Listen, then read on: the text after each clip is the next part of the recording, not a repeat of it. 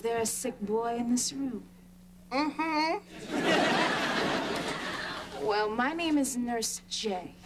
Hi, Nurse J. Hi. You like candy? Mm-hmm, that's nice. Well, if you're really a good boy, I'm gonna give you a lollipop.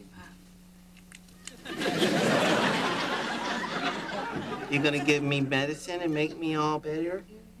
I sure am. But first, I'm gonna need to take your temperature. Oh,